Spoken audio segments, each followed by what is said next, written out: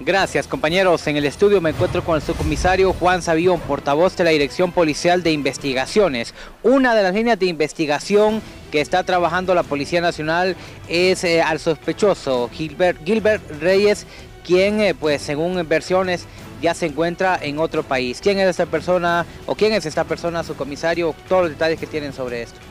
Muy buen día. Efectivamente, como Policía Nacional en esta ocasión informamos de este proceso investigativo que eh, está siendo dirigido precisamente por la Dirección Policial de Investigaciones, pero en coordinación con otros entes de investigación e inteligencia de la Policía Nacional. Se han conformado varios equipos interdisciplinarios para llegar a la verdad lo más pronto posible. Las versiones indican que él habría salido con ella, así que él tenía algún tipo de relación con una de las jóvenes.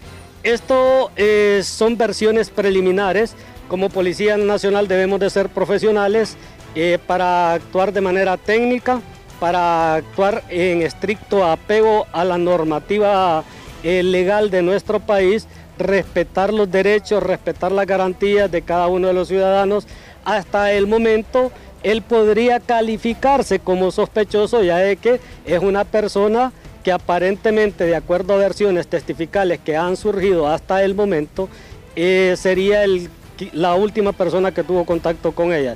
Pero serán los investigadores, después de la recolección de todas esas evidencias, que nos indique si estamos frente a un delito, qué tipo de delito y quién o quiénes serían los responsables.